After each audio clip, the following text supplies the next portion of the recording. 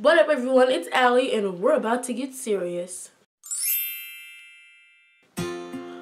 Okay, so I've been going through like Tumblr and I've been seeing in the news there are a lot of things that we really need to stop doing. Um, when I was going through Tumblr, there was this post saying like how if you say something to someone, you know, you got to obviously be careful of what you say to someone because you don't know the impact or the effect that you can have on someone. Um, good example, when I was maybe eight or nine, somewhere around there, my brother had these friends and their mom used to braid my hair. No, she did not do this. but um, she used to braid my hair and I'll never forget that this one day they were over and then she made this comment at me. She was like, you talk funny. And I was just kind of like, you know, I'm little, and I was just like, oh, okay. And then I don't remember, but I think her son said it too. I remember we went swimming, and I he said something, and I don't remember if it was you talk funny or something else. I've been trying to remember for this video, but I don't. But yeah, they straight up told me that I talked funny, and like things that people say, like something like that, like I can't help the way that I talk. I it's just that's how my voice sounds. And for the longest, like I've been kind of self-conscious about that. Even still, I'm like, do I talk funny? Like I, I wouldn't like going up in front of class to you know say something or anything because I felt like well everybody's gonna say that I have this funny voice. So we really need to like be careful on things like that. Um, you know, if somebody has like pimples all over their face, like don't point it out, okay? Because one, they can't help that, okay? And even if they can, you know, maybe they are trying to help it, but you don't sit there and point it out because then they're gonna become extra self-conscious about it and like try to cover themselves. Like, no, don't point it out to them. That's being rude, and you guys know that you're being rude. Okay, I have pimples right here and right here. I can't do anything about it. I've tried scrubbing and whatnot, and they just don't go away. Another thing is, um, and Raven-Symoné did this. Um, the whole name thing. Like, okay, if somebody's name is for example, Watermelon Andrea, because um, don't make fun of that person because that's their name. Like they, they were birthed with that name. Like I don't even use my name because I used to get made fun of back in middle school. This kid used to call me. I'm not even gonna say it, but um, you know, he used to say, "Oh, you have a boy's name," and he, I don't have a boy's name, by the way. Like, I go by my middle my middle name on here, but no, I don't have a boy's name, but he used to take my name and make fun of it and say, call it a boy's name. And, you know, it hurt. And I remember this one time he actually did it. I was in high school when he did it, and my brother was with me, and my brother ended up, like, going off on that kid. Thankfully, he never, you know, made fun of me again. But, like, don't make fun of somebody because of their name. Like, they're literally born with that name. You know, Watermelon Andrea can't help that. That's what her parents chose for her. You know, and Raven back to the Raven thing, she was like, oh, well, I won't hire somebody if they have a ghetto name. Like, really? Your name is Raven-Symoné. Like, there's a hyphen in your name. Like, your full name is Raven-Symoné. I'm just saying.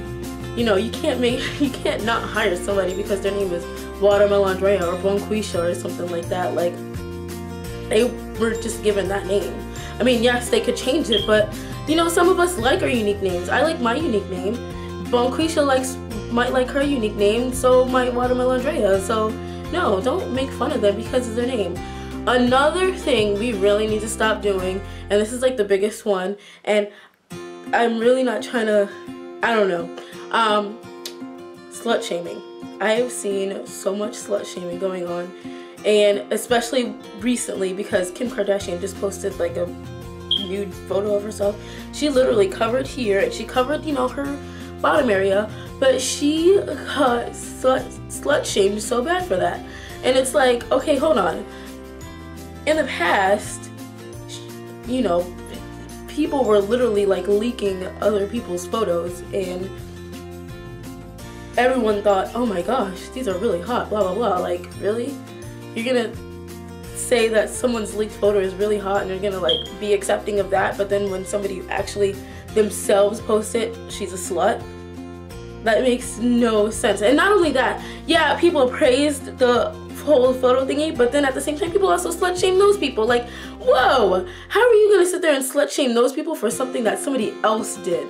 Like, somebody literally hacked their accounts and leaked their pictures, their private pictures, and you're gonna sit there and call them a slut and a whore and whatnot. Like, that makes zero sense. How are you gonna do that?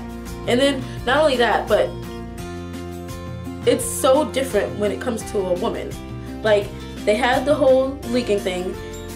All the girls were like basically slut shamed, slut shamed. But then there was guys, and it was like, oh well, it's okay, you know.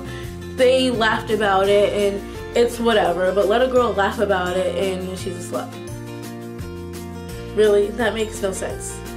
Like we have got to stop slut shaming us females. We're we're the ones yes, guys do it, but us females are the ones that do it the most, if you notice. Which is really sad. Like, we're women. We're supposed to stick with each other. We're not supposed to tear each other down. And here we are bringing each other down. Everybody's bringing Kim Kardashian down over this photo. Like, why? She felt confident enough to sit there and post herself. And I, to be honest, I don't see a problem with that, but that's just me because, yeah, I, well, no, I wouldn't, but good for her. She's got this I don't care mentality. Good for her. That's how we all should be. We should all have this whatever. We're women. We stick together.